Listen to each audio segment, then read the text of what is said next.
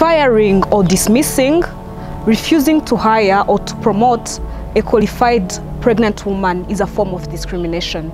Discrimination is when people with disabilities are grappled with stigma, being ostracized and treated as objects of pity or fear, labeled as invalid and diseased. Disability is not inability. Let's all stand against discrimination. Discrimination is when women are paid less than men for the exact same type of work. Discrimination is when someone is targeted or harassed at work or in the society because of their sexual orientation, gender identity, or gender expression.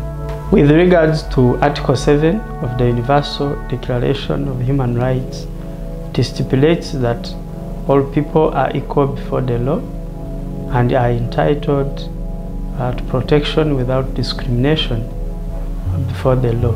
Article 16 of the Rwandan Constitution stipulates that all Rwandans are born and remain equal in rights and freedoms.